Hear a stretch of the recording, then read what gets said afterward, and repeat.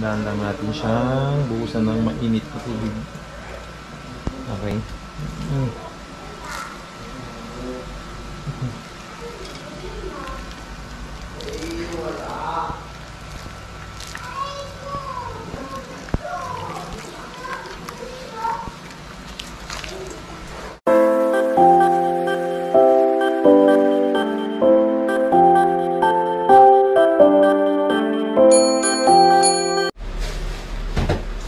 Morning mga kabirit. Ah, today ah, maglilinis tayo ng ating motorcycle helmet. Dahil sa ilang araw na tag-ulan, araw ay medyo bumabaho yung mga helmet natin. So ituturo ko sa inyo kung paano siya dismantle at saka yung kung paano yung DIY na cleaning natin dito ang gagawin ngayon. So tara ah, samahan niyo ako at ng may matutunan kayo sa pag-dismantle ng ah, QYT helmet. Okay, so start natin. Ah, itong mga foam niya sa loob. Itong mga ito, ito yung mga napapawisan natin kapag ka bumabiyahe tayo, lalo pagka mainit yung panahon, medyo malayo.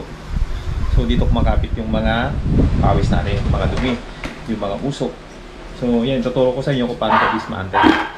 So first natin ano gagawin is tatanggalin muna natin itong visor para iwas scratch. So ito, makikita ninyo, nandito yung lock niya sa QYT. Hihilahin mo lang siya dito, ito. Yan. Pag hinila mo siya dyan, pwede mo siyang iangat. Yan. So yun, na siya. Para madali lang. Ganon din sa kabila. Hilahin mo lang siya, then pull. Okay, so ito yung ah, visor niya. Tanggal na siya. And next natin is yung mga rubber niya dun sa loob, yung mga foam.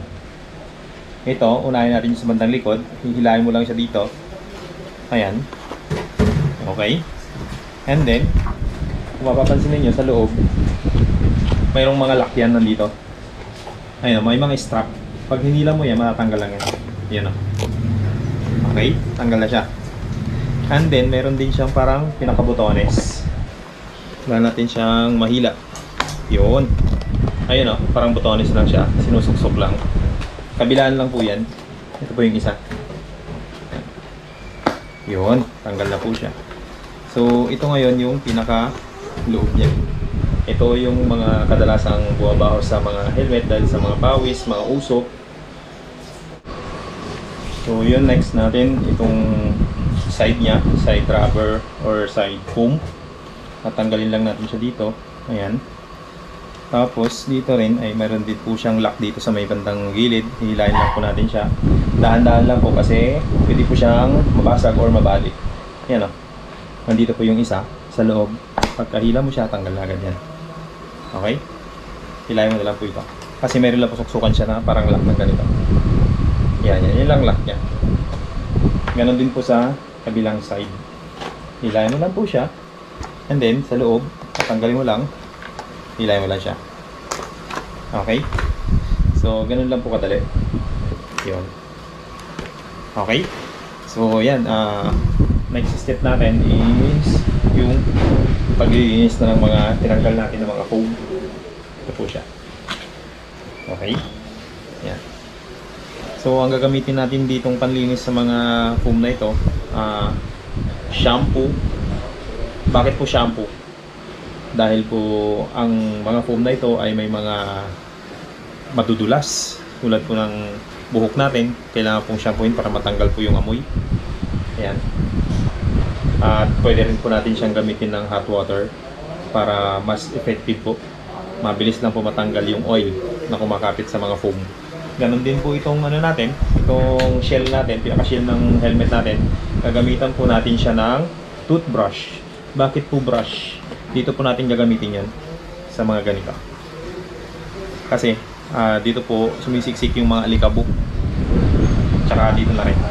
Okay, so yun mga kabirit, ah, prepare ko lang yung mga panlinis natin at ah, balikan ko kayo mamaya. A few minutes later. Ayun o, kumukulo na. Pwede na. So, yan yung gagamitin natin na panlinis dun sa ating motorcycle helmet sa mga foam niya. Okay? And then, shampoo, toothbrush. Lagay natin siya dito. Bababad natin siya. Okay? Andan lang natin siyang buhusan ng mainit na tubig. Okay. Mm.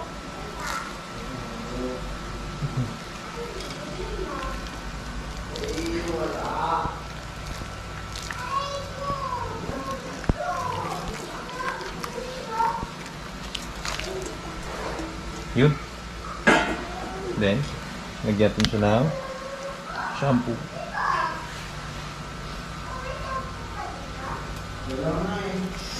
Init.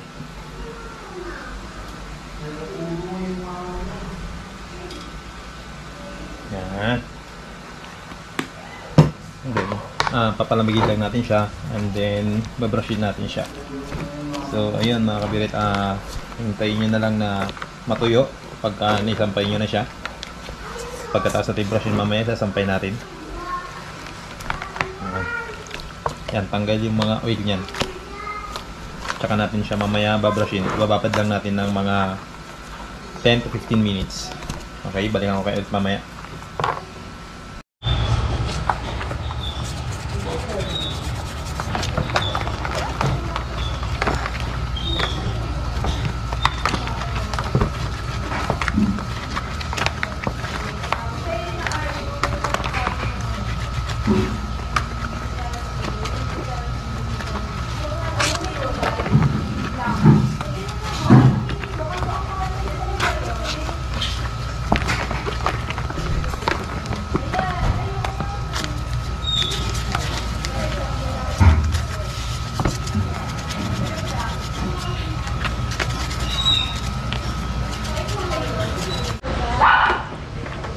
So ayun mga kabirit, dito yung mga sinasabi ko kaninang paggagamitan talaga natin na toothbrush para matanggal po yung mga alikabok.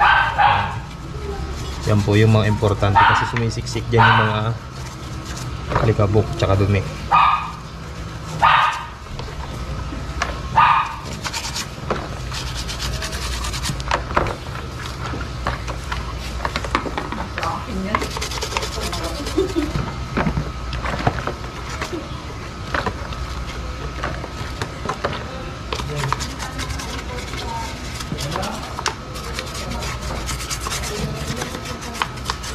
Thousand years later.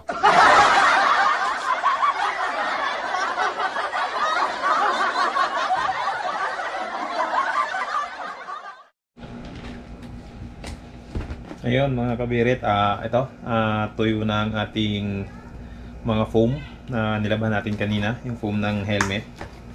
So kakabit na natin siya, babalik na natin dito sa loob ng shell.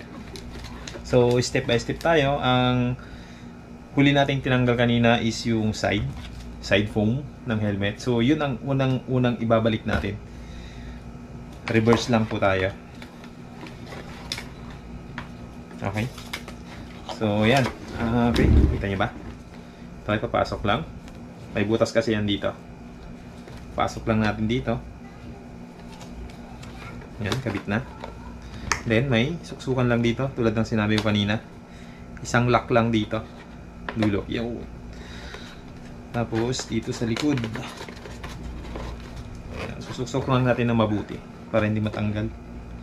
Tapos, yung parang pinakabotonis niya, yung ganito. Yun nandito. Dalawa lang ho yan. Kakabit nyo lang ho dito sa side by side. Okay? Ganun lang po kadali. Then, yung isa pa. Suksok natin sa butas. Okay? Ayan. Nandito. Sa likod. Okay. Tsaka yung lock. Okay. Then, yung pinakabotones niya.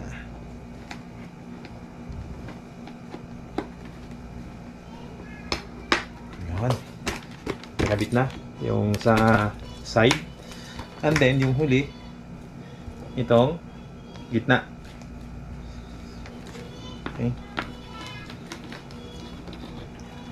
Suksok lang ho natin mabuti dito. Sa pinakalikod. Yan. Na. Bilis. Bali, may dalawa po itong botones kung nakikita nyo rin. Dito sa magkabilaan, ito po siya. Kung nakikita niyo yung kulay puti. Dalawa po yan, sa taas lang.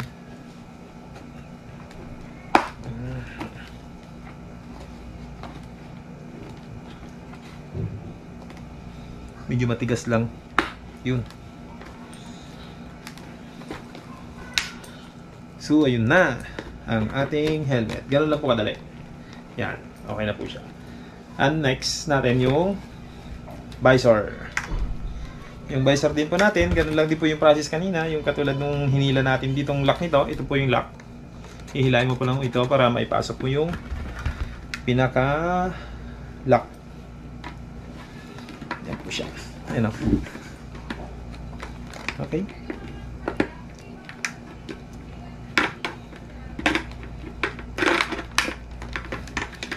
Ingatan lang po natin baka mabali po yung lock. Kaya dapat po tama po yung pagkakasalpak.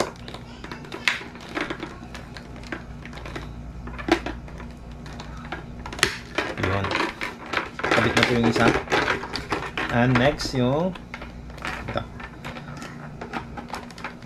Yun. Yun. So yun na.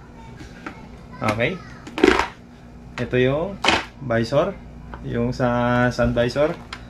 Yung dark. Okay. So, ayun lang mga kabirit. Ah, hanggang dito na lang yung aking munting vlog. at sana ay nagustuhan ninyo. At kung bago ka lang sa aming channel, ah, huwag kalimutang mag-subscribe, like, share, at pag-hit na rin po yung notification bell para lagi kayong updated sa mga bago naming upload. Thank you and God bless. Bye!